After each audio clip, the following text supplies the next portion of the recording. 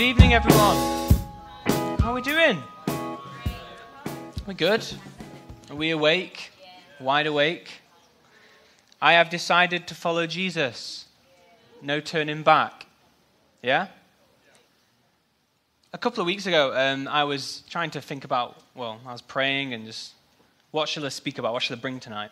And last, last week, I, I wasn't really sure that I'd heard from God because I thought, I can't bring this because it's not very encouraging. And like, messages are meant to encourage you, aren't they, right? And then if you were here last week, Philippa preached. Anyone remember Philippa preach? Yeah. And it was epic. It was amazing. And it was spot on with what God was saying to me. And Philippa just brings it all confidently. I, I, heard the voice of God. I know what I should bring. And I'm, and I'm there like, well, I don't really know if I even heard him. But, um, but Philippa just really confirmed a little bit of what I think God wants to speak to us tonight. Um, Philippa spoke on the wall in a marathon, right? You run a marathon, and apparently, I've never done it. Um, you might, I get this when I run up the stairs, but you hit a wall. and basically, it's kind of like halfway um, between the marathon, and, and everything tells you when you're running that I can't do this. It's impossible. I can't carry on. And you think, why did he even run? Why did he even take up running? And I'm never going to finish this race. And then you're meant to push through the wall and persevere and then finish the race. Does that sound familiar? Do we know what I'm talking about when I say a wall? Not a physical wall, just like something. And Philippa said to us, shock horror, sometimes a Christian life's a little bit like a wall. Yeah? You, you, you kind of hit a wall and you, and you think, why did I even do this? You know, why am I even how am I ever going to do I feel so weak. I feel like I can't push through. I feel like I'm never going to finish this race. I feel like I, I can't do it. And we've got to persevere, haven't we? Push through the wall and finish the race. That's a brilliant message from Philippa. And so we're going to carry on a little bit um, in that sort of theme tonight. And we're going to look at what it means to follow Jesus. So if you'd like to go to Matthew chapter 16.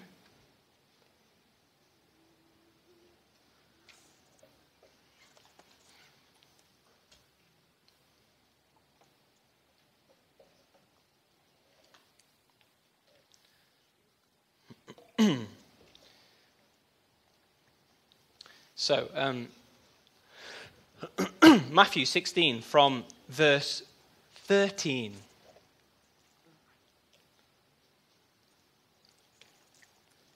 We got it? it says, um, when Jesus came to the region of Caesarea Philippi. So, firstly, Caesarea Philippi isn't where Jesus and his disciples hang out. Isn't where they hang out. They, they hang out at the Sea of Galilee in Jerusalem. This is 25 miles north of where Jesus and his disciples normally hang out. And so Jesus has taken them basically on a two day walk. If you know where Huddersfield is, yeah, Manchester to Huddersfield, Jesus takes them on a two day walk. And the reason Jesus did this is because he needs to kind of get away from all the re- religious authorities and, and, and because he's about to talk about something really serious. He's about to talk about how he's the Messiah, and even to claim that was dangerous. So he had to go 25 miles out of the way just to ask them a question. What's he say? came to Caesarea Philippi, he asked his disciples, Who do people say the Son of Man is? Jesus is, is asking his disciples, Hey guys, you, have been around me for quite a long time now. And um, what's, what's the word on the street? What are people saying? Who, who do people say I am? The most important question you will ever ask or be asked is, Who am I? by Jesus. And the most important question you'll ever answer is that. It's the most important question you'll ever answer.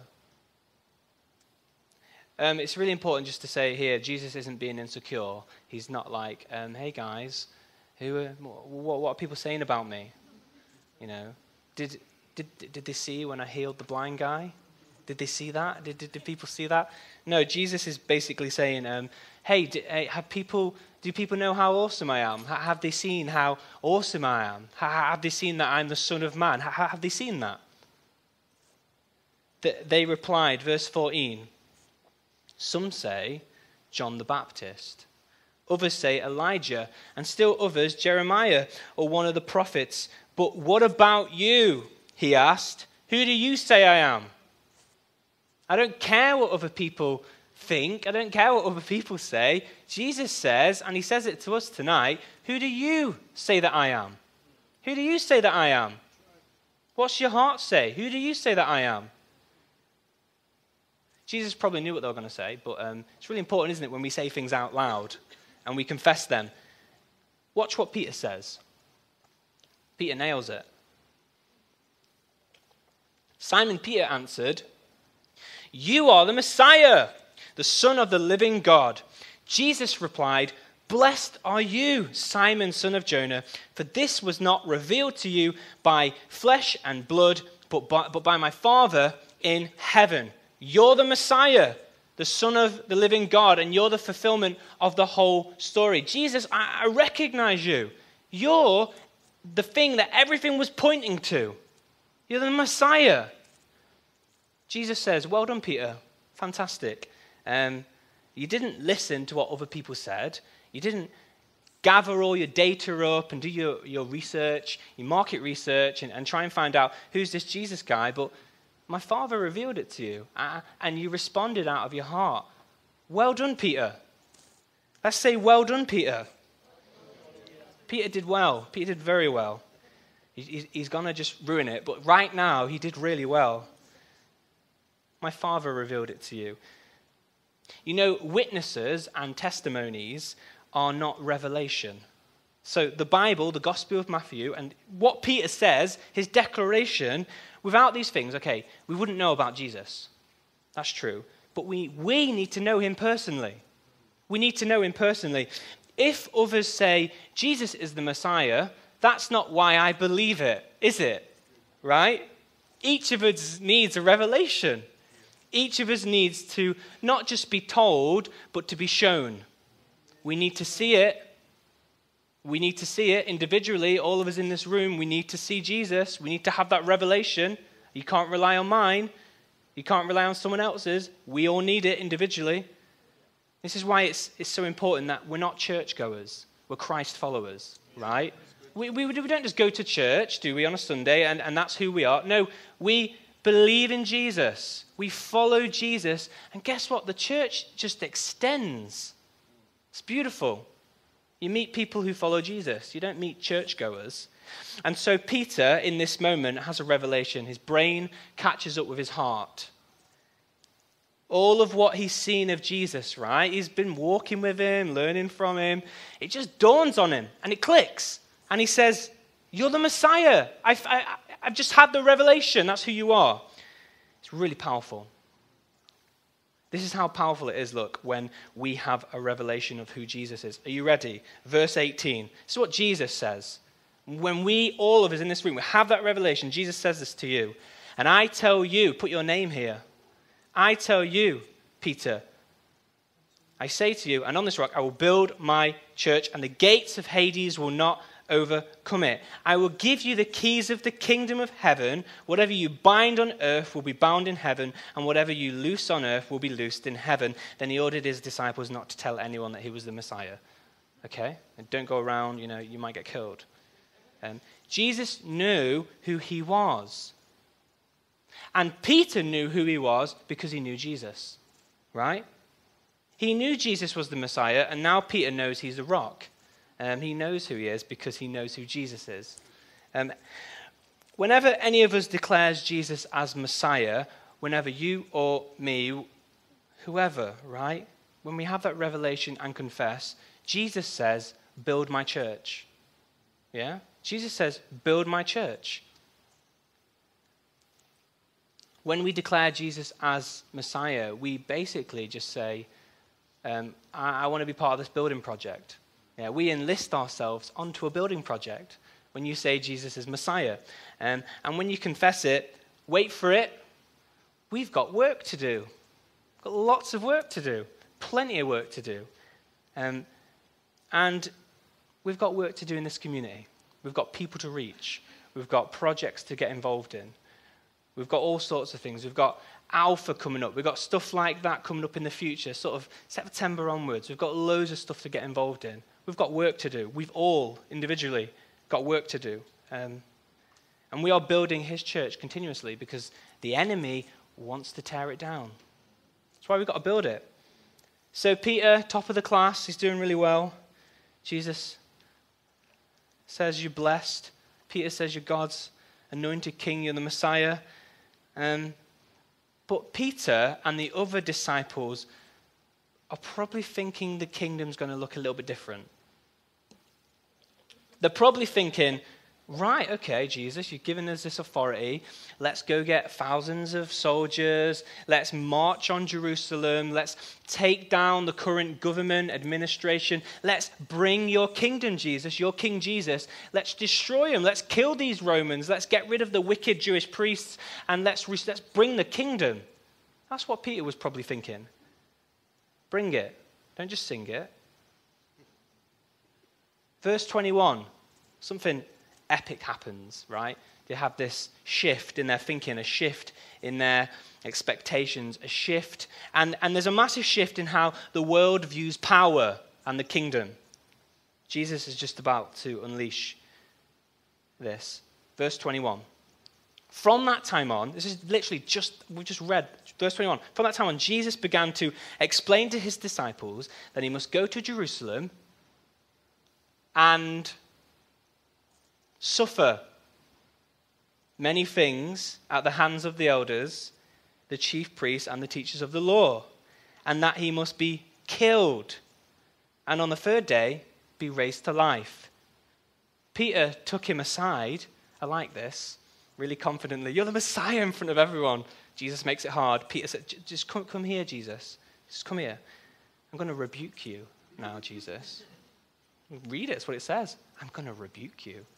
Jesus, that's never going to happen. Never, Lord, he said. This shall never happen to you, Jesus. Jesus turned with probably one of the horriblest things you can say to someone and said to Peter, Get behind me, Satan. You are a stumbling block to me. You, don't, you do not have in mind the concerns of God, but merely human concerns. What just happened? Pretty amazing. Firstly, Peter rebukes Jesus, right? Disciples, first century, never rebuked their teachers. There was clearly an order, right? Yeah? Teacher, disciple. Um, in fact, there are some um, in Jewish tradition that if a disciple was caught teaching the law in front of his teacher, he would be killed. Right? Just don't do it. Don't mess with the order. Peter disrupts the order. Jesus says, Peter, you're my disciple. You're not the teacher, right? The word disciple literally means to follow behind. Okay? To follow your teacher. And so Jesus calls Peter blessed, right? He says, You're blessed, Peter. You have the keys of the kingdom. And in the same breath, he calls him Satan, right? And he tells him to get behind him.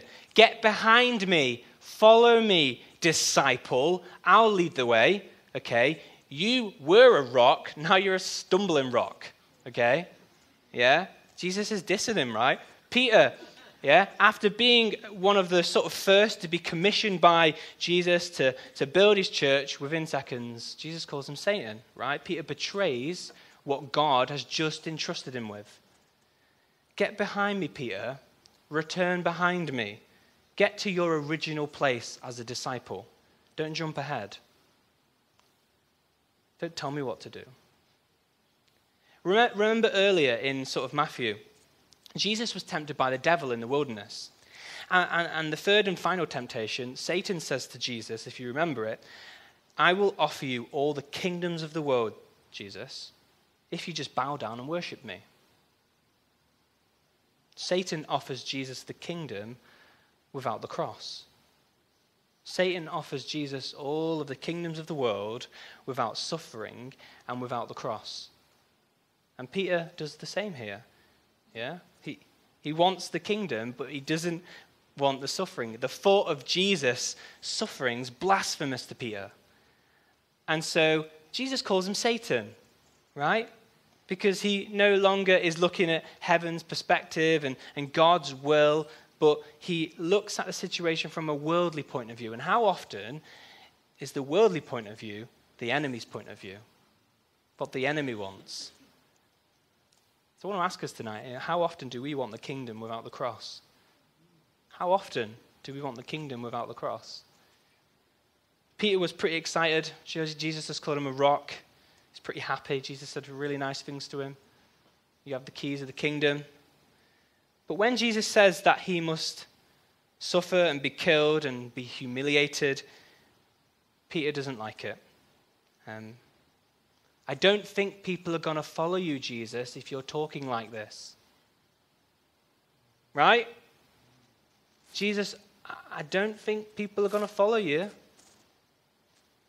Don't think you quite get it, Jesus. We're going to bring the kingdom. We're going to bring the king- kingdom, Jesus. I don't think the church will be built on this sort of teaching. This is not what the church is going to be built on. I'm the rock.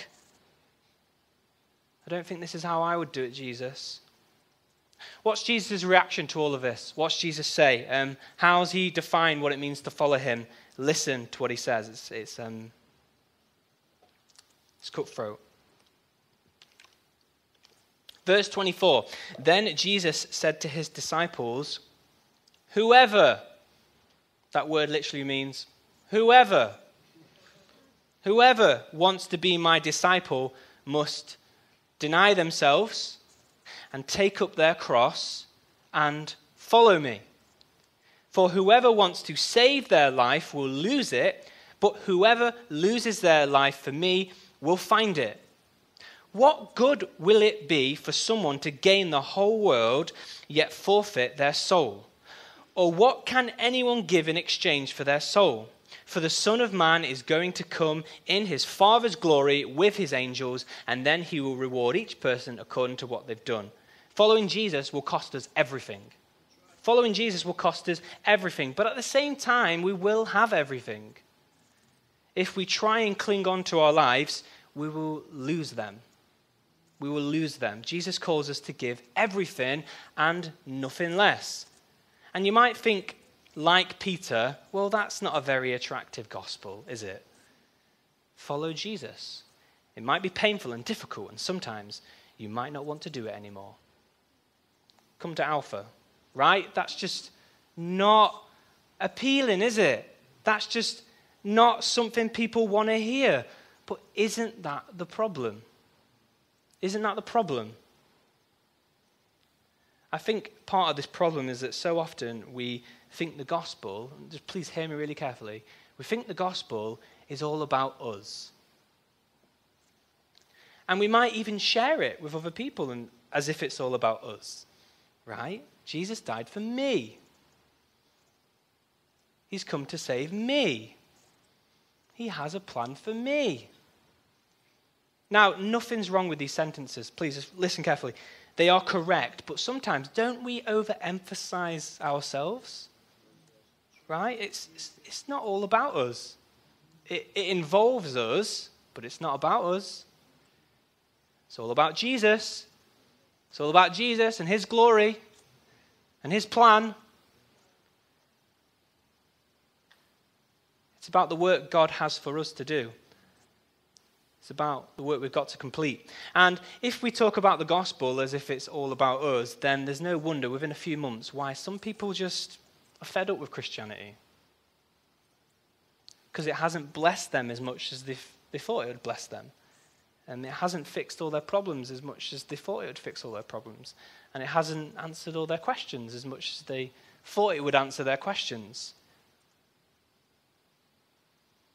What if we described Christianity and the gospel? What if we said instead that it's all about Jesus?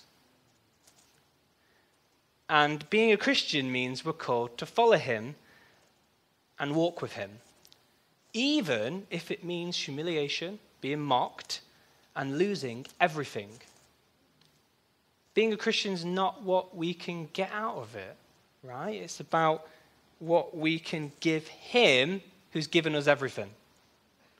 Now, again, I just want to emphasize don't get me wrong. Yes, God blesses us. God blesses us so much, doesn't He? He gives us of His Spirit, and we can worship Him tonight in spirit and truth.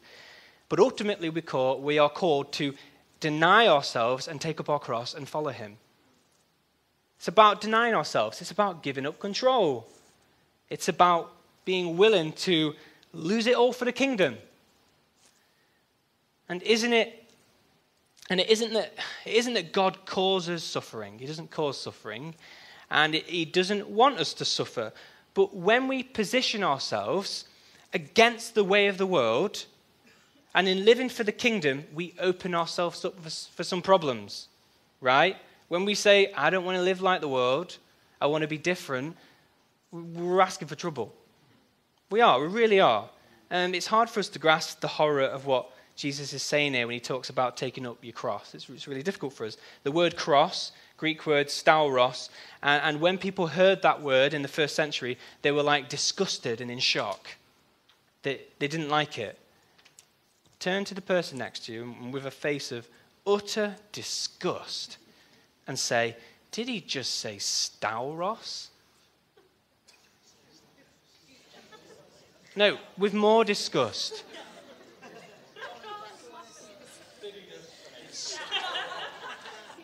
That's really good, Jack. That's really good. If you're struggling, watch Jack.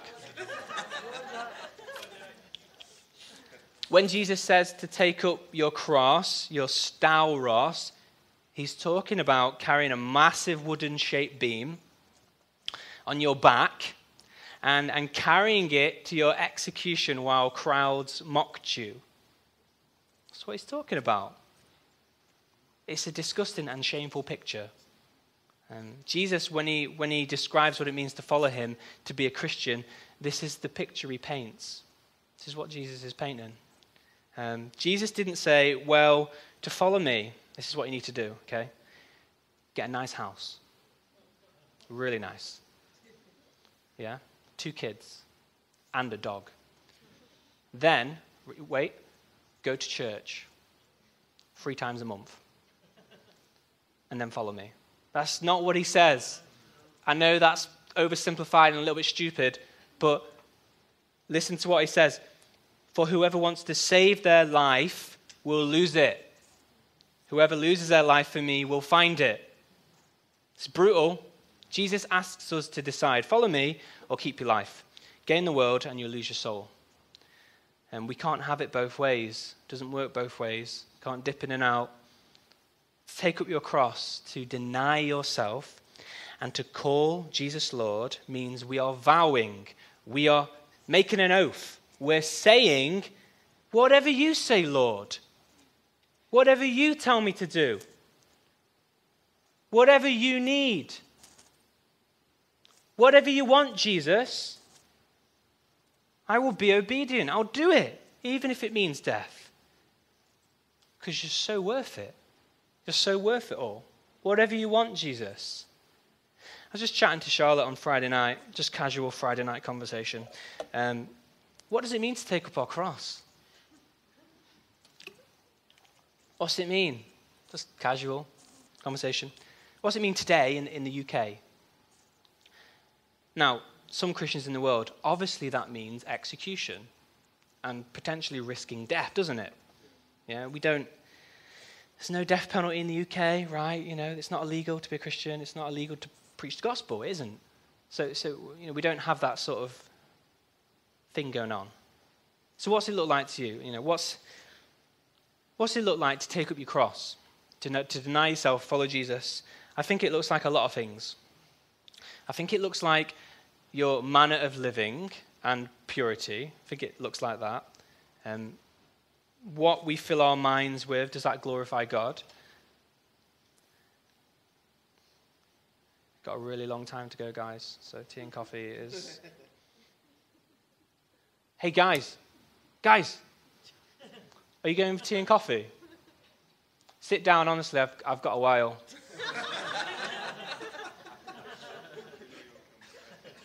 Sorry. Just, you just be waiting in there for 10, 15 minutes.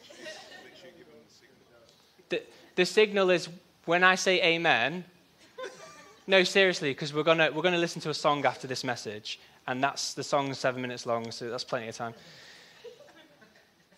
What's it mean to take up our cross and follow Jesus, right? It, it means purity. It means conversation, good conversation with people, uplifting conversation, encouraging, honest. It, includes so much, tons of stuff. You, I'm sure you can name it. But tonight, I, I, just really felt that taking up your cross for us and denying yourself, I think it's about acknowledging that God does not micromanage our lives. Let me go into that a little bit. God is not a control freak. Okay? I think it's really important for us to grasp this um, because it will completely change what we think and it goes against what some of us might think. Don't get me wrong, God has a plan, doesn't He? Yes, and He's got a will and a purpose. He's all powerful. God knows the end from the beginning, but He's not a control freak. He probably isn't too concerned about who wins the World Cup right? He probably doesn't even decide it. Can I tell you why this is really important? Because if we think God is fully in control of every aspect of our lives, then we are off the hook. And we are tempted to blame Him when we make wrong decisions. God's in control. It doesn't matter how I live my life, the decisions I make. It doesn't matter that I don't know what I'm going to do after university. You know, God's in control. Just happen. Doesn't matter if I can't afford to pay my rent this month. God will provide. It doesn't matter if I don't revise for my exams. God will get me a 2 1. now, we laugh, but try and just this week, try and listen out for these comments and conversations because they, they, they, sometimes you just don't see it. And people will say something, oh, God's in control. And you're like, really? Of that? I mean, two Christians, right? Christian football teams, five aside, okay? God, I pray that we'll win. Your will be done. Oh, God, God's got this for us. God's, God's got this for us. God's in control. Right? Who wins? What's, what's, what's God deciding there? Listen really carefully. Overall, overall, big, big picture. God has a plan, He's in control. But He's not responsible for our actions. Okay? He's not responsible for our actions. He's in control, but He's not responsible for our actions. Um, this changes the way we live our lives um, because what we do matters. What we do really, really matters. Um, and this is why, partly, I think Peter freaks out when Jesus starts saying that he's going to be betrayed and crucified. This is why I think Peter freaks out. Think about it. Jesus, up until this point, has been running the show, right? People have been all sorts of diseases. Jesus heals everything, doesn't he? Yeah, people are starving and in the middle of nowhere. Jesus feeds them, right? multiplies food. And so the disciples are thinking, we've got King Jesus, right? King Jesus is in control. And then Peter, Peter suddenly freaks out when Jesus says he's going to die and leave them. Because Peter realizes, hold on a minute, I might be responsible now. There might be some things that I'm going to be responsible for. This is down to me. No more sort of bodily Jesus here to fix everything and we can just sit back and enjoy it. How awesome are you?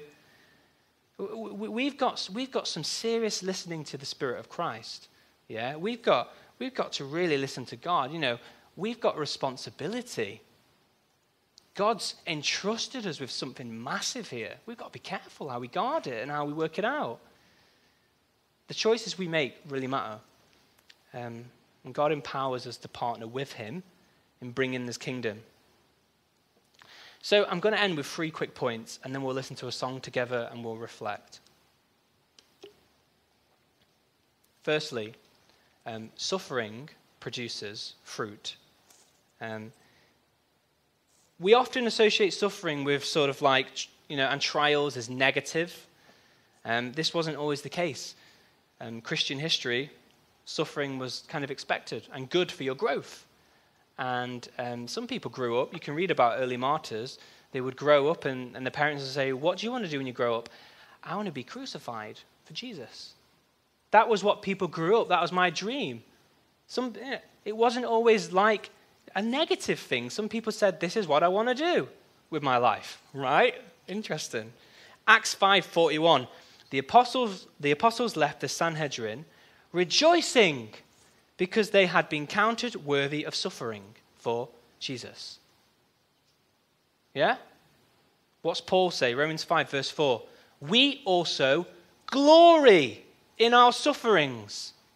Glory in our sufferings because we know that suffering produces perseverance, character, and character, hope. And hope does not put us to shame because God's love has been poured out into our hearts through the Holy Spirit who's been given to us. 1 Peter, in fact, the whole book, read 1 Peter, suffering, suffering, suffering. Though now for a little while you may have had to suffer grief in all kinds of trials, these have come, sufferings have come. This is why they've come, so that the proven genuineness of your faith of greater worth than gold, which perishes even though refined by fire, may result in praise from you, glory and honor when Jesus Christ is revealed. Do you, do you see? Sufferings and trials shape us, they mold us, they prove our faith. We partake in Christ's suffering. Let's rejoice. Secondly, point two, we're not helpless in suffering in John 14, Jesus tells his disciples that he's going to be killed and taken away, and they're just distressed and upset and sad. Jesus says, Don't worry, I'm going to send you a comforter. I'm going to send you the Holy Spirit. The Spirit, someone who's going to live in you and he's going to comfort you regardless of whatever situation you find yourself. Isn't that beautiful? What a beautiful promise from God. 2 Corinthians 12:9. Paul talks about his famous thorn in the flesh yeah, something which torments Paul, and, and, and God didn't take it away from Paul because Paul says it stopped him becoming prideful and trusting in himself. Um, but this is what God said to Paul in his suffering My grace is sufficient for you, for my power is made perfect in weakness. Paul says, I will boast in my weakness, I will boast in my suffering, so that Christ's power may rest on me. That's what he says. And what does Paul say? Verse 10 This is why, for Christ's sake, I delight in weaknesses, in insults, in hardships, in persecutions, in difficulties. For when I am weak, then I am strong. In suffering, God strengthens us, doesn't He? He makes us strong. He, he, he never leaves us. And thirdly and finally, really important, we have a greater hope. We've got a great Christian hope. Um, I don't know about you, but the promise of persecution and suffering doesn't fill me with happiness and joy. I'm not ecstatic. When I read stuff like 2 Timothy 3:12, everyone who wants to live a godly life in Christ Jesus will be persecuted. Uh, it doesn't make me happy. Jesus, John 16 says, "In this world, yes, Jesus, you will have trouble." Right? Take heart, I've overcome it. So um, while suffering produces fruit and while God promises to help me and give me strength, I need something else. I need hope. When all else is lost and hopeless, only Jesus can offer us hope. Only Jesus can offer us hope. Um, sometimes we forget that this age, or you know, the time we live in, um, we forget it's just a puff of smoke. It's just a flash in the pan. Do you know when, you lo- when you're watching a video on YouTube and there's the five second advert? Yeah? Then the video comes on. The five second advert, that's like our life on earth, right? It's just, it's just, just it goes, it goes five seconds. I know some of them like 30 seconds. Maybe that's like if you lived to 80, 85, I don't know. But, but it's just a flash in the pan, just a puff of smoke. Um, and, we, and we compromise so much, and we often develop a sense of entitlement that, you know, God owes us this, doesn't he? You know, no, he doesn't. Um, God doesn't owe us anything. Um, is anyone in here, do we deserve God's grace and forgiveness? Um, but he gives it us freely anyway. We prayed for Emma tonight, a young girl in her early 20s. with a whole life ahead of her taken away in an instance of injustice. Really sad. Really devastating. Life is short. But we have such a great hope. We've got such a great hope. And if we're honest, we want life easy, don't we? You know. But life isn't easy. Life isn't easy. And it isn't easy for anyone, regardless of whether you follow Jesus or not. Trouble and suffering are essential to what it means to be human. Um, it's so connected with who we are. So the question isn't why is there suffering? The question is, what are you suffering for? That's the question. What are you suffering for?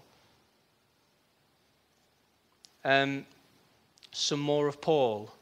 It's great. We can listen to it. 2 Corinthians 11. Are they servants of Christ? This is Paul. I am out of my mind to talk like this. I am more. I have worked much harder. I've been in prison more frequently. I've been flogged more severely. I've been exposed to death again and again. Five times I received from the Jews the 40 lashes minus one. Three times I was beaten with rods. Once I was pelted with stones. Three times I was shipwrecked. I spent a night and a day in the open sea. I have been constantly on the move. I have been in danger from rivers, in danger from bandits, in danger from my fellow Jews, in danger from Gentiles, in danger in the city, in danger in the country, in danger at sea, and in danger from false believers. He can't hide. I have labored and toiled and have often gone without sleep. I have known hunger and thirst and have often gone without food. I have been cold and naked. Besides everything else, I face daily the pressure of my concern for all the churches. Paul has a lot of stories about suffering. He's got lots of them flogged, whipped, beaten, nearly killed multiple times. And he's still got 10 years left to live. So I'm sure he's got more stories.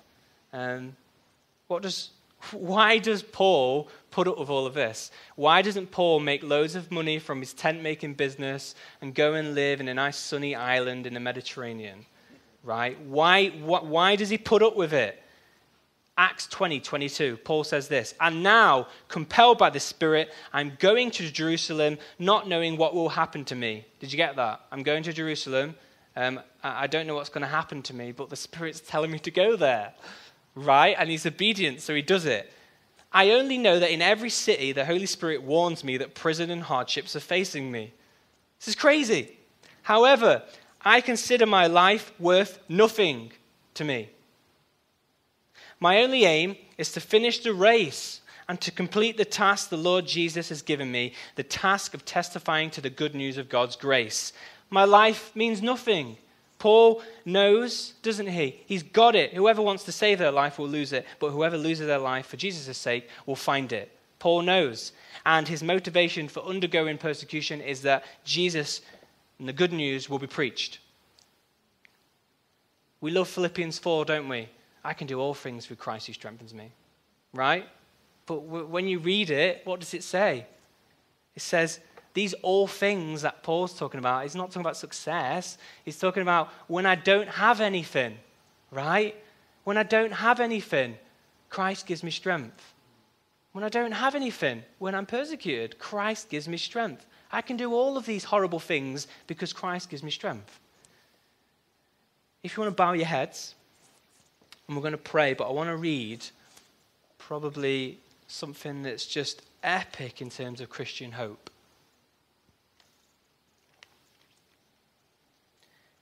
It's Romans 8, and it says this I consider that our present sufferings are not worth comparing with the glory that will be revealed in us.